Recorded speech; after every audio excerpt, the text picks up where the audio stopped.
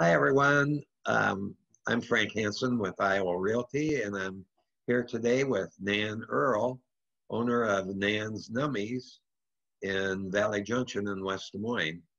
Welcome, Nan. Thank you. Um, tell me a little bit about Nan's Nummies. When did you get started? Um, I got started in 1988 down at the downtown Des Moines Farmers Market. Oh, wow. And what were you what were you selling down there? Were you selling candy and I was selling about eight kinds of cookies. Oh, okay. And then um, when did you open in the store in West Des Moines? Um, the following year I opened and it's been about almost it's going on 33 years now. Wow. That's a long time to be baking cookies and yes. candy. So, uh, how many varieties of cookies do you have? Oh gosh, um, cookies now probably over 15 varieties, and we have brownies and bars and Dutch letters, and then I expanded over the years into kettle corn and chocolates and truffles and jelly bellies and fudge. Um, we still oh, make all the cookies and fudge from scratch. Yeah, and what's uh, like what what's your flavors of fudge? Oh golly! At one point, I had forty some flavors, um, but oh, now goodness. we've we've kind of pared it down to the top 20 uh-huh. top fifteen, something like that. But the most popular is still chocolate and chocolate walnut. Is it really?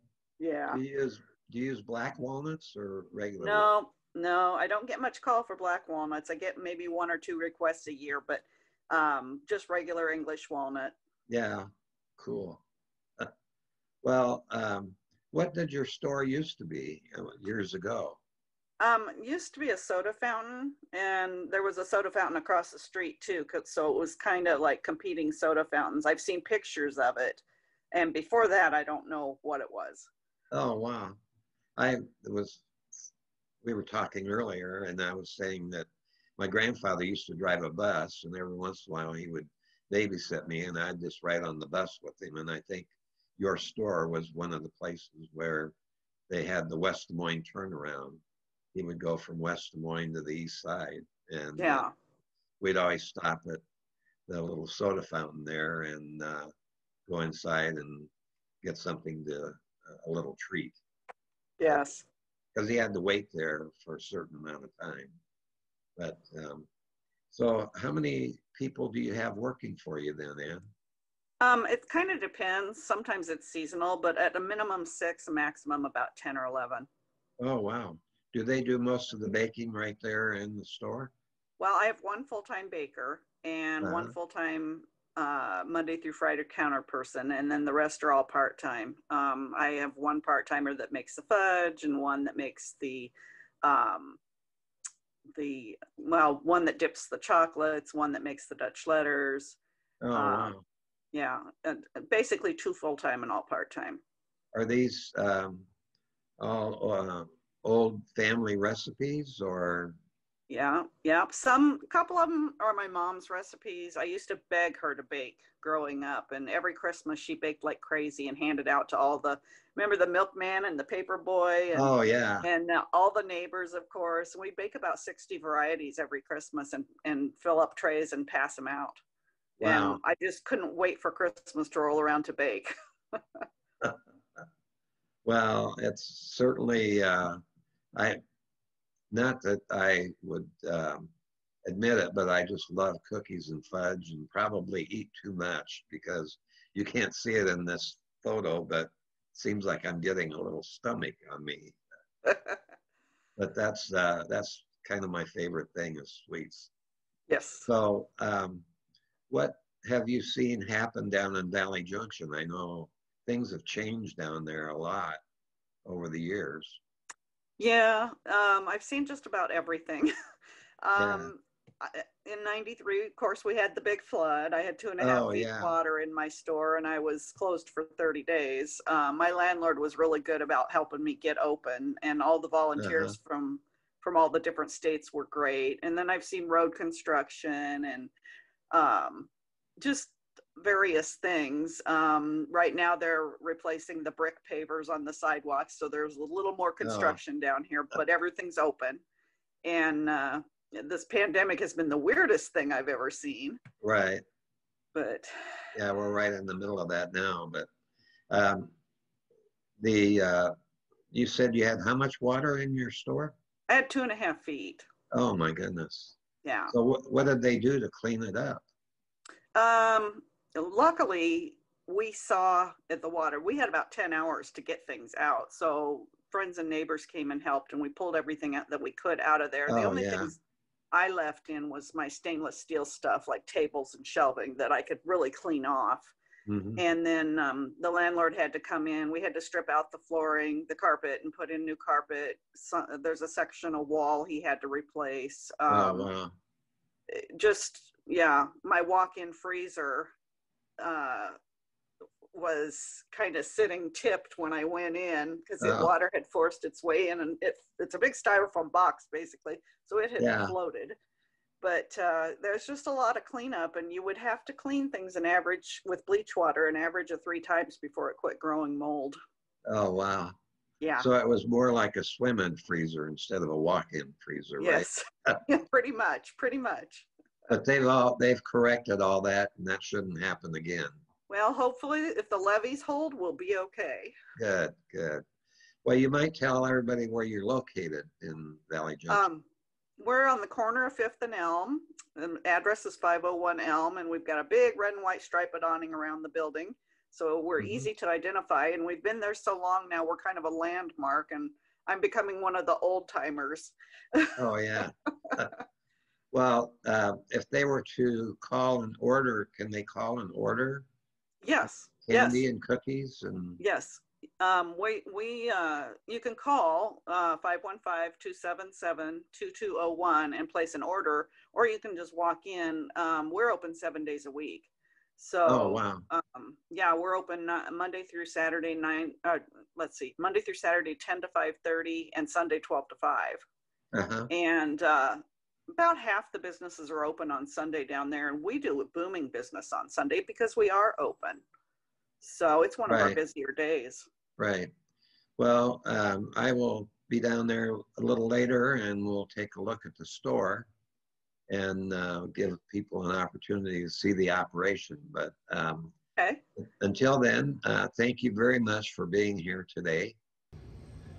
Okay, hi Nan. Uh, here we are at the shop, and um, you want to tell me a little bit about the place and show me around? Um, I've been here thirty-three, going on thirty-three years, Uh-huh. and You can kind of show me around is- if you This would. This is our fudge case, and it's kind of a mess right now. Fudge maker comes in tonight to replenish.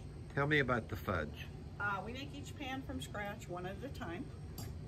Um, we don't make it from a mix, it is all from scratch. Mm-hmm. So, Cool. and then we dip things in chocolate. These are our chocolate dipped items. Uh-huh. Um, we use a really high quality milk chocolate.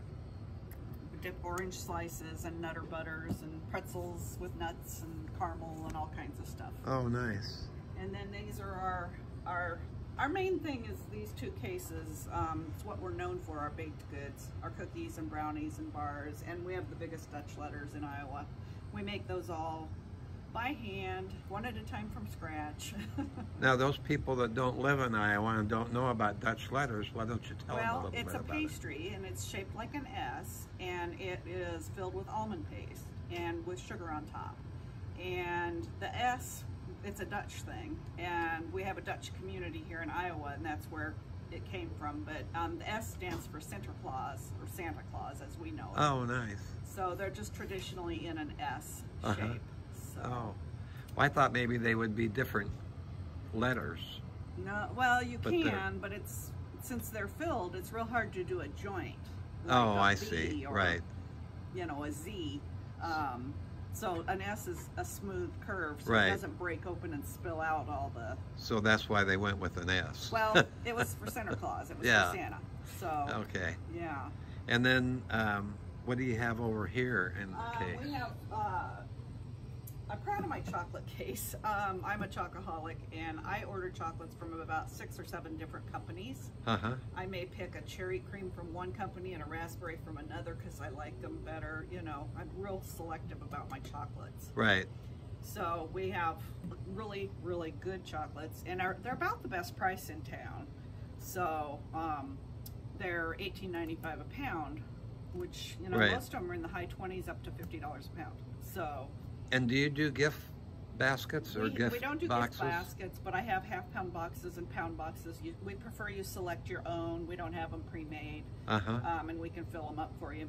Put a ribbon on them or whatever you want to do with that. Right. So if someone were to come in and want to get a gift box for somebody that Yeah, we can do. Yeah. We can do. Um, like I say, we have our half pound and pound boxes, and and we have bigger boxes too if you want to do. At Christmas, sometimes people come in and get five pounds at a time. Oh wow. Yeah. so Yeah, I, Yeah. noticed you have a lot of chocolates in here. yeah. Yeah. And then this is our truffle case. We carry three lines of truffles. Um, one is from um, uh, California, and one is from Vermont, and one is from Texas. Oh, And, nice. Uh, those are again, I taste tested everything and hand chose what I what I wanted. Right. And then on the bottom two shelves of this case is our sugar-free chocolates, which sugar-free Oh. chocolates are hard to come by, and I've also taste tested them, so they're pretty darn good. Yeah. Oh, nice. And then you carry Jelly Bellies. Yeah, we carry, these are all of our bulk candies. This is the bulk wall, and right now we're trans, uh, transitioning from sixlets. We had every color they made of sixlets, and we're transitioning to other bulk candies. Like right now, I've got Jawbreakers and Spree. Remember Spree from childhood? Oh yeah. Right. So we'll be putting in a lot more bulk candy in here. And then of course the, our wall of beans, um, we have 48 plus flavors of Oh, Jelly wow. Bellies. and we also have pre-bagged Jelly Bellies, um, candy sticks. We have uh, saltwater taffy. Um, I can't even count how many flavors of that we have.